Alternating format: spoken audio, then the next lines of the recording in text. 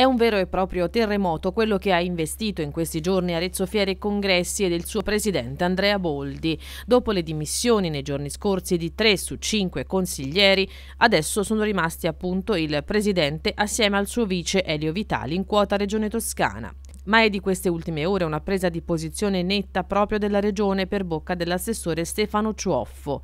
Credo sia necessario ripartire da un punto nuovo per Arezzo Fieri, ha commentato nelle colonne dei quotidiani locali. Deteniamo il 40% di Arezzo Fieri, abbiamo chiesto più volte un piano che contenesse una proiezione pluriennale, ma continuava a non rispondere alle attese del corpo sociale. Una bocciatura, insomma, per Andrea Boldi che arriverà a fine mandato ad aprile, ma evidentemente le condizioni per una sua ricandidatura non ci sono. Su questo tema anche il botta è risposta tra la vicepresidente del Consiglio regionale Lucia De Robertis e il sindaco di Arezzo. La prima chiedeva di non fare di Arezzo Fiere un terreno di battaglia e aspettare la scadenza. Ghinelli replica invece che la linea del comune è chiara e non c'è motivo di attendere oltre.